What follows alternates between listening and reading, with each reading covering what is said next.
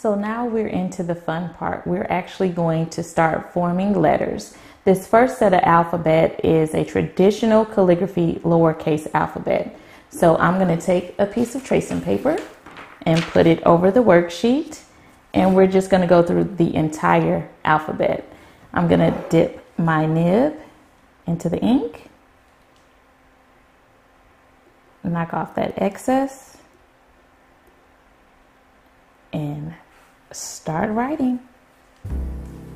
So the A is essentially an oval and then a thick downstroke. Then upstroke, thick downstroke, back up thin, and a thick downstroke. One tip that I will give you is that when you're forming letters, let's say for instance A, when you write that first oval, make sure that you complete the oval before going back down with that downstroke. So you want to complete drills or letter forms. Complete the first one before going to the next one. It makes for a better looking letter.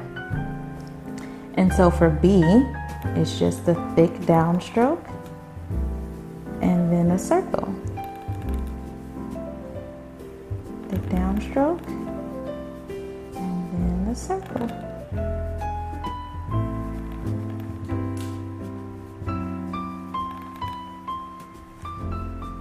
And for C, you want to start with a thin upstroke,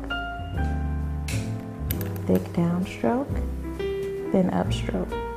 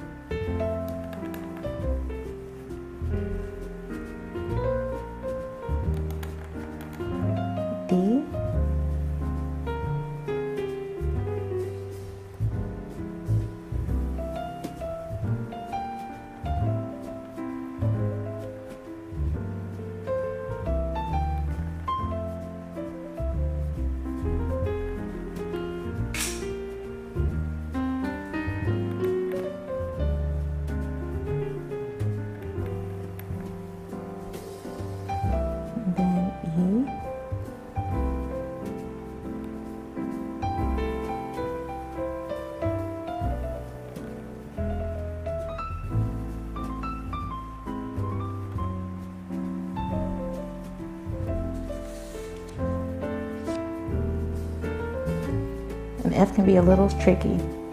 So you want to start with a thin upstroke, up and over, thick downstroke, back up thin, and then a little kick out. So thin upstroke, up and over, thick downstroke, thin upstroke, and then a kick out.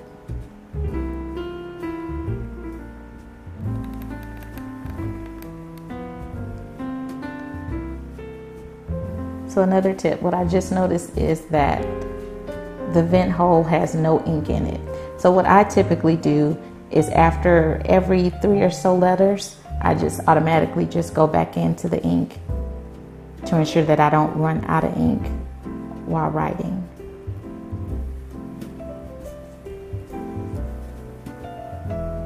G, circle.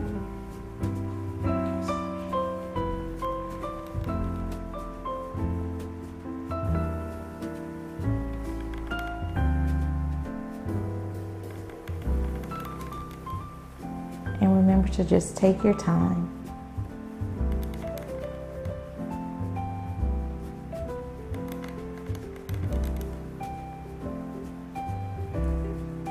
H, thick downstroke. And upstroke, thick downstroke.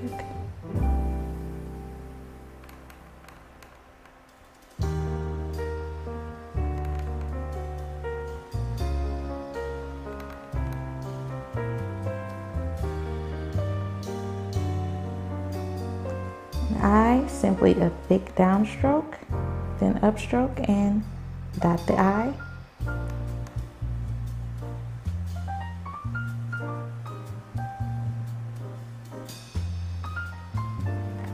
And J is like one of our fancy drills, thick downstroke, then upstroke, and dot the J.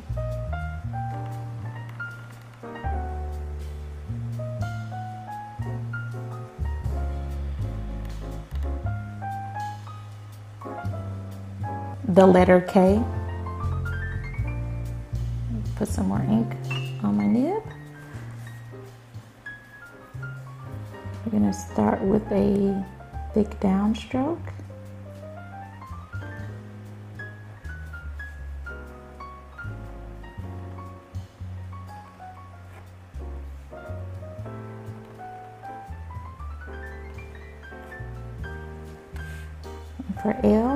Just a thick downstroke and transition back up to a thin upstroke. So thick downstroke, thin upstroke.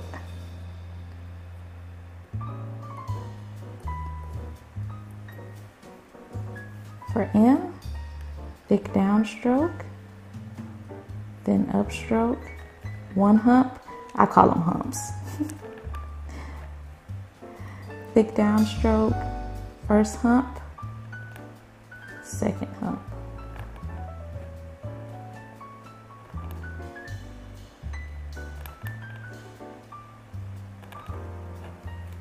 And N is the same, it just has one hump.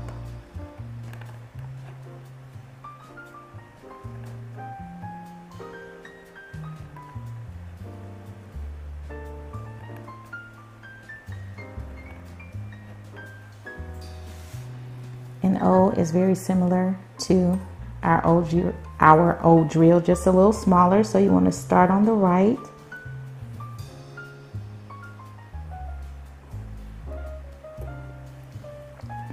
With a thin upstroke, up and over, thick downstroke, transition back up thin.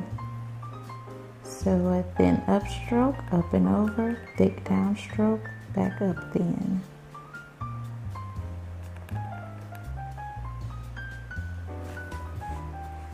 And P, thick downstroke, and then a little circle.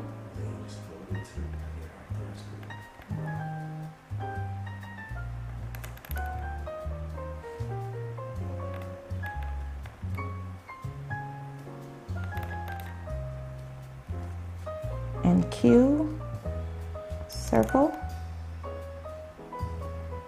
thick downstroke, back up thin and a kick out.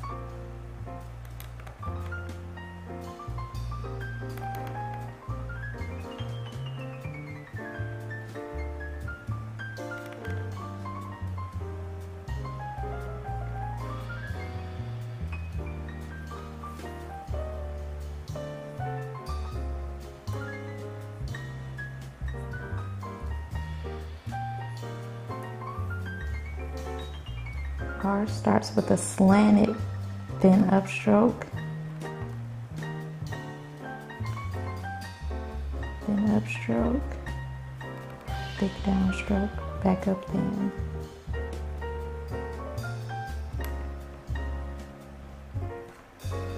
And S starts with a slanted thin upstroke as well.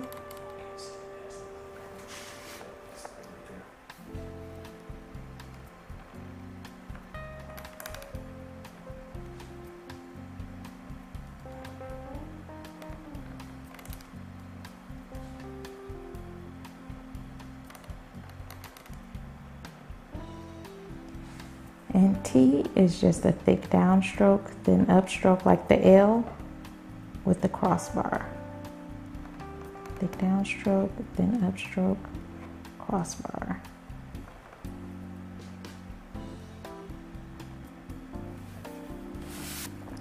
So for U, thick downstroke, then upstroke, and then another thick downstroke.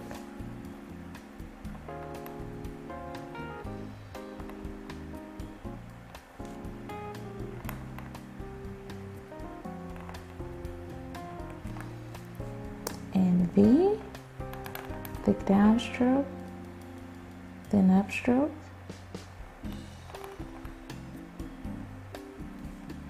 And for this little kick out at the beginning, you just light pressure, slant it, then transition to a thick downstroke, and then back up with a thin upstroke.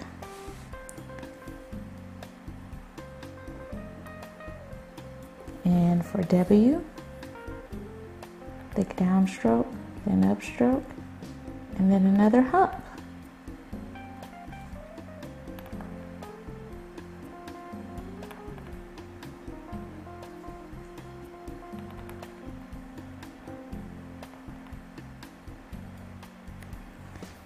And for the letter X, then upstroke, thick downstroke, back up thin, and then a slanted line across, which is thin all the way. So thin upstroke, thick downstroke, back up thin, and then a thin upstroke all the way across.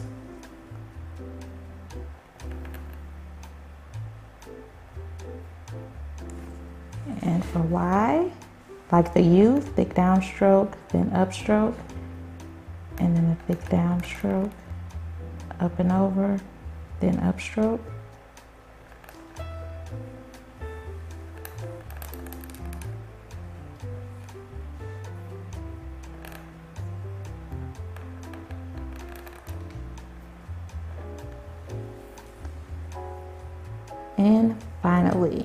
The last letter of the alphabet, Z. You want to start with a thin upstroke, thick downstroke down, and then come back with a thick downstroke up and over and thin all the way across. So thin upstroke, thick downstroke, thin, then thick again, and transition back up thin.